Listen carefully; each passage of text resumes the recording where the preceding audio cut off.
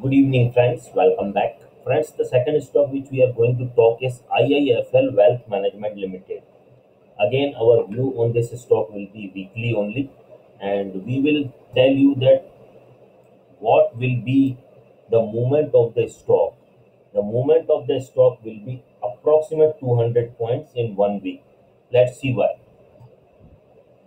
Friends, first of all, uh, I would like to draw your attention that two levels I have placed here 1351 and 1395. These two levels are stopped respecting every time. This was the one. Let me talk about 1351 first. See, on November 19, the stock touches 1351, come back. Again, November 19 touches 1351, come back. Third time, January stock touches 1351, come back.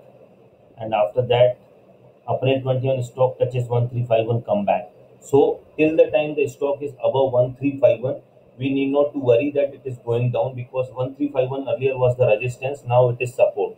So our first support will be 1351. The first level of support will be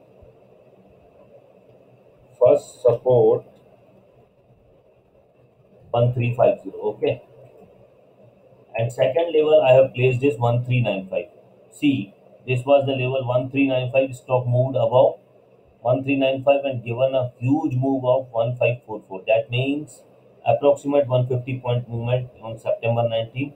After that, this time February 20 stock moved above 1350 and given a high of 1434. That means approximate 80 points movement. And once the stock given closes above 1395, you can see the stock closes on February 20 above 1395 approximate 1394.55 that means 1395 level. And after that it was above the level of 1395 for almost one week two week three week four week. Four week stock was above the level of 1395 so the second level which we are uh, support uh, which we can see that the second level of support will be or the nearest support will be let me put here second or nearest support 1395 fine first support 1350 second support 1395 so we have to wait till the time the stock is giving closing above 1395. We need not to enter the stock. Once the stock gives closing above 1395 and that too for minimum 15 minutes time frame candle.